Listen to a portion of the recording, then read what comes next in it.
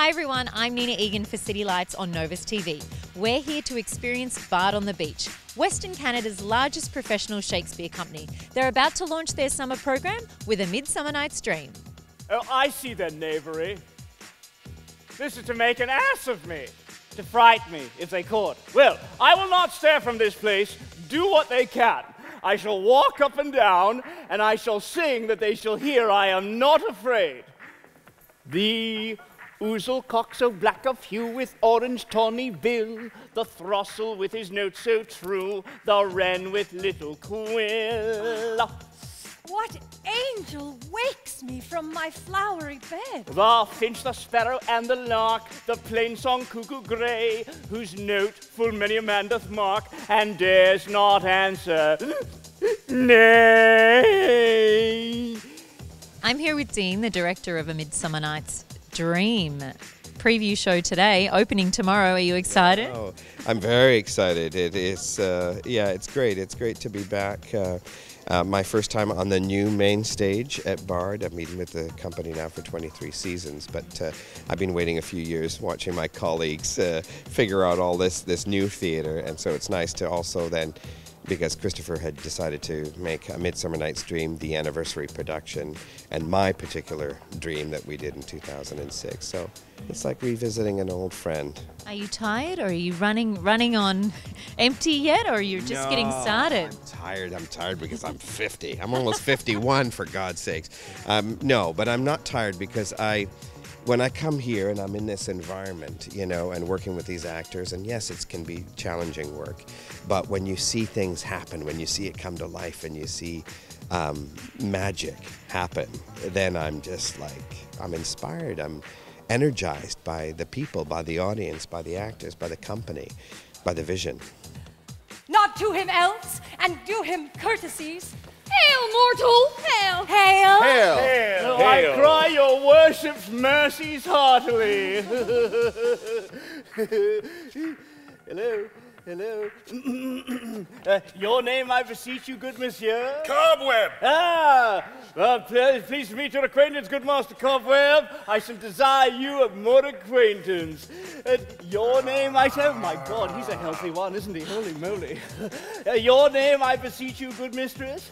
Peaseblossom. Oh, well, I shall desire you of more acquaintance too, good Mistress Peaseblossom. Ooh. I found a very handsome fellow here known as Bottom.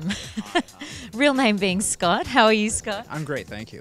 How is the show? Are you excited? The rehearsals have been I'm going well. Excited, yeah. This is a big anniversary season for us, and um, well, we're recreating a show that we did about eight years ago, and um, we've got a second chance to make it bigger and bolder and better and more fun, and uh, I think we're uh, we've got a good handle on that so far. So, what do you look forward to most about the show in your character? Uh, for me, it's it's my interactions with not only with my fellow actors on stage, but with the audience. When you're doing comedy, there's a great chance to get the audience very involved in what you're doing, and uh, I, I enjoy that aspect of it a lot. Yeah.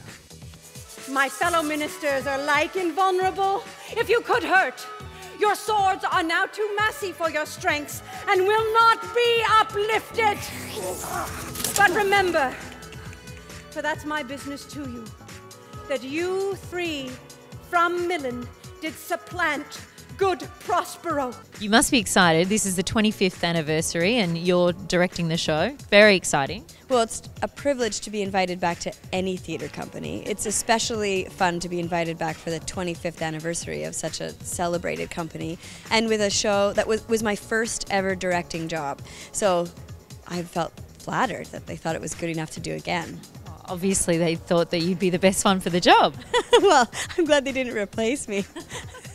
so, how's it been going, rehearsals so far? Oh, it's been great. It's been really fun. I was trepidatious about returning to an early work.